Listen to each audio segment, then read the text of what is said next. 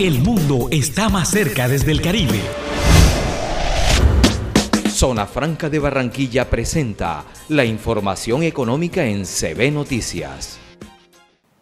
Hola, ¿qué tal? Buenas noches. Es momento de toda la información económica aquí en CB Noticias. El presidente ejecutivo de Camacol, Guillermo Herrera, anunció en Barranquilla que el gobierno pondrá en marcha una estrategia contraclínica para disminuir la caída en las ventas de viviendas. El dirigente gremial sostuvo que las ventas de vivienda cayeron 63%.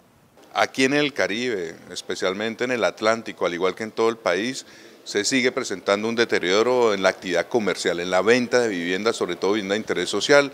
Lo que vemos es que en lo que va corrido el año, es decir, entre enero y agosto de este año, la venta de vivienda para Atlántico cae por encima del 63%, jalonada especialmente por la vivienda de interés social, que tiene una contracción de menos 67%. El Caribe es una región eh, que necesita mucho de los subsidios del gobierno nacional, y así como está el Valle y otras regiones que, tienen esta necesidad y esta dependencia del subsidio, pues presentan este tipo de comportamientos que en general es negativo en todas las regionales donde Camacol tiene presencia. Un plan contracíclico que permita que el próximo año se puedan asignar por lo menos 70 mil subsidios para todos los compradores de vivienda de interés social.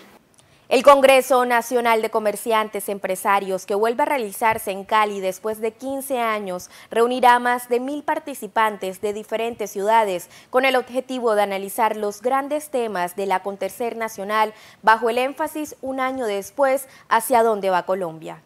Va a ser un Congreso muy importante que girará en torno a la convocatoria de una unión en Colombia, que girará también para analizar un año después de haber iniciado este gobierno, hacia dónde va el país en el futuro.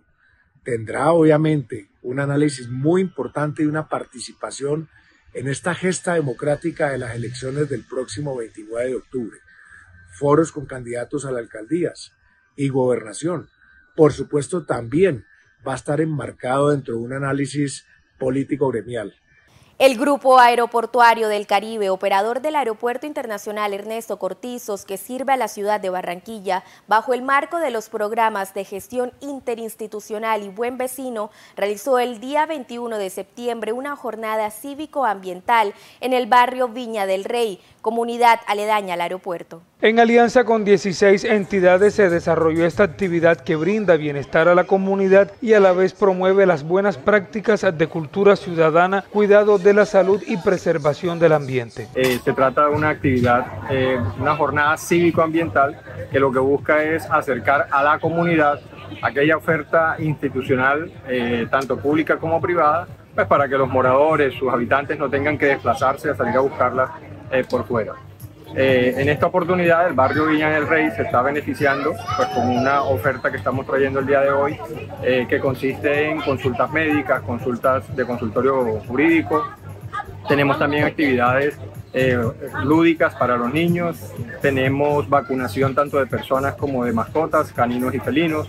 La comunidad quedó contenta, quedó feliz porque se hicieron varias actividades gracias a los entes públicos que estuvieron aquí.